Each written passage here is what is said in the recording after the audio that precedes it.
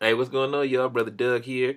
Uh, so you know, I haven't blogged about anything Pokemon related in a minute, but today would only be befitting because Ryan Reynolds has now been cast to voice Pikachu in the Detective Pikachu movie from Universal and Legendary Pictures. Um, here's my thing about that.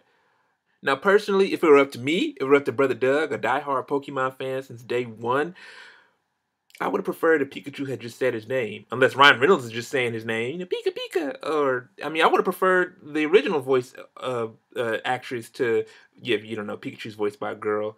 Um, I would have preferred her if they would have just you know kept that intact. But you know, of course, they got to you know bring a big name in to you know put asses in seats, which I'm all for. You know, and truth be told, I don't know why they're doing Detective Pikachu the Pokemon lore, whether the mangas, the anime, or or uh, the games, has so much to, to to offer. I played every Pokemon game from Blue version all the way to Sun.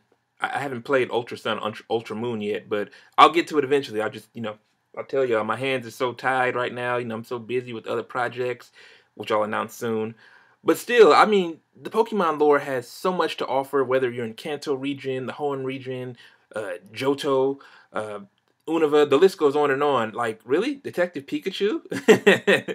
Granted, I'm sure there's gonna be some action in it, you know, you know, Pokemon using their powers, but it would have been cool to have a, a, retelling of even though they did that already, the Pokemon I Choose You. I saw that. That was it was actually pretty cool. It would have been cool if uh, they would have had Brock and Misty in it, but that's for another blog.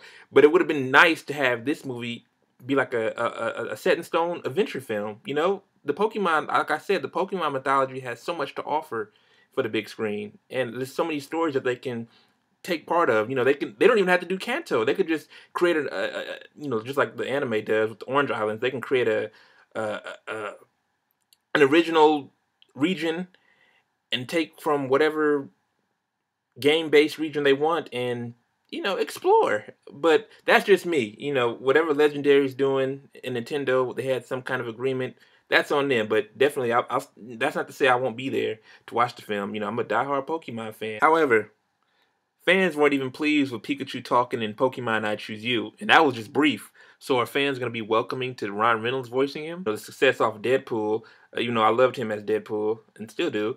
Uh, I mean, is he going to be a narrator? Because I haven't played the Detective Pikachu game, so I don't know if uh, Pikachu talks, you know, with verbally like I'm doing right now, or if he just says his name. But like, really, what? Why are they going this direction? But they have a black dude playing the lead character, Justice Smith. So that's that's pretty much positive. I mean, could you imagine if they had a black Ash? I wouldn't have mind. You know, some of y'all be like, "Well, Doug, they're they're race bending again, just like they did L in Death Note." Motherfucker, did you watch Death Note? like, who the fuck said I like Death Note? So that's my overall opinion about Ryan Reynolds playing Pikachu in Detective Pikachu. Uh, how do you guys feel about it? Do I have any Pokemon fans out there? Any Gen 1ers? So tell me this, do you think Detective Pikachu is a great route for Pokemon on the big screen? Or do you think they should have did something original? Let me know in the comments below. Make sure you like the video, share the video, subscribe, follow me on Facebook, Twitter, Instagram, and like always, deuces, and go catch them all.